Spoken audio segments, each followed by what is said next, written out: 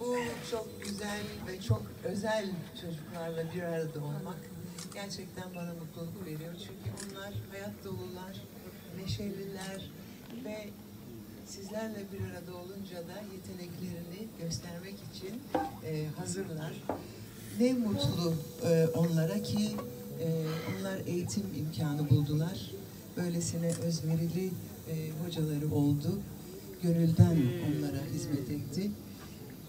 Az önce e, değerli eğitimcimizin de söylediği gibi gerçekten e, toplumda bu farkındalığı yaratmak hepimize düşüyor.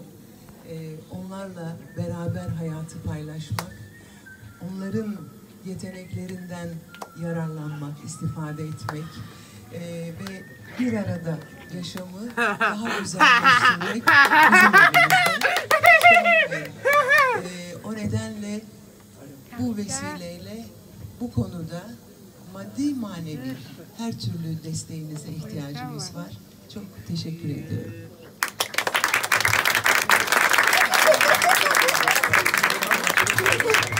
Evet.